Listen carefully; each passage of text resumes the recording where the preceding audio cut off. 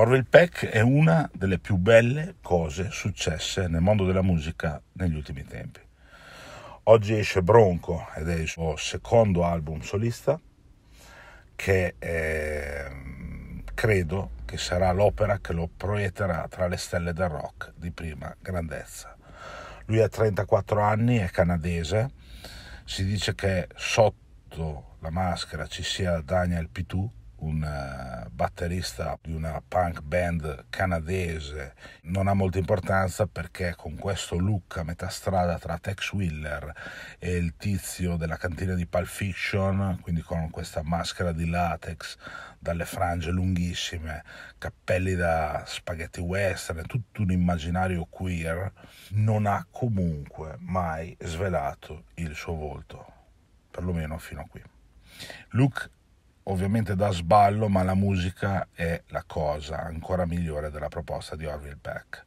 perché Bronco è un disco sì country, con echi per dire del Nebraska di Springsteen e anche di eroi del eh, country americano come Towns Van Zandt, Glenn Campbell, Johnny Cash, ma tutto suonato con uno spirito punk rock. Ha un modo di approcciarsi a questo genere, Peck, e, cioè quindi al country, come eh, è lo stesso approccio adottato da Tom Waits al blues e al jazz. Quindi un modo molto differente di trattare certi argomenti o certi generi musicali. E, insomma, Orville è un vero punk. Bronco segue Pony, che era il disco di debutto già di per sé comunque un disco magnifico, ma qui tutte le cose suonano meglio e su tutto si erge la voce di Peck, baritonale, ancora più da crooner rispetto alle canzoni presenti nel debutto. Già i semi di questa um, evoluzione dell'artista si erano potuti sentire con Show Pony, l'EP pubblicato due anni fa, ma qui assolutamente eh, convince pienamente e siamo forse di fronte al disco migliore pubblicato fin qui. Siamo in aprile, però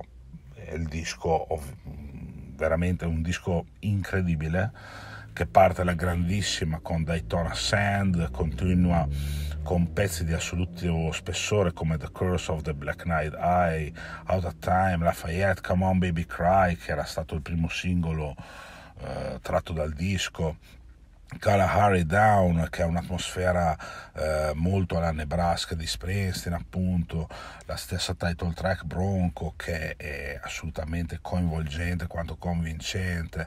la um, ritmata Trample of the Days Hexy Mountains, che per me è una delle vette dell'intero lavoro, ma anche City of Gold o la Kensei si potrebbero citare quasi tutte le 15 canzoni di questo autentico capolavoro di disco. Bronco Orville Peck. Andatelo ad ascoltare e lo amerete senza se e senza ma.